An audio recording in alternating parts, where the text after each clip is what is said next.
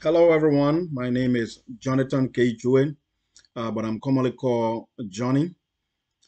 Uh, I'm a Public Health Commission Corps officer. I know a lot of people don't know about this, but uh, it's commonly called PHS. I started my career with the military, with the Army. I was in the Army for 16 years. And then I transferred over to the Commission Corps. Um, Public Health Commission Corps, we work with uh, various federal agencies and currently, I'm with the Bureau of Prison. I started with the Indian Health Service and then uh, the Food and Drug Administration. And now I am with the Federal Medical Center. Uh, it's a hospital for the Bureau of Prison, one of the hospital branches in Rochester, Minnesota.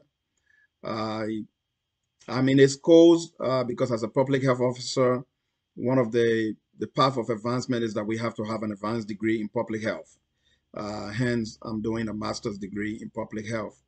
Uh, I'm a registered nurse also by profession, um, and most of my time have been uh, within the uniform services.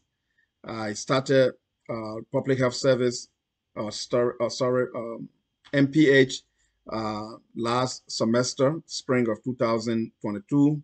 And I hope to learn a lot from you, my classmate, and also from the instructor in this class. Nice meeting everyone, and I look forward to a very productive uh, section. Thank you.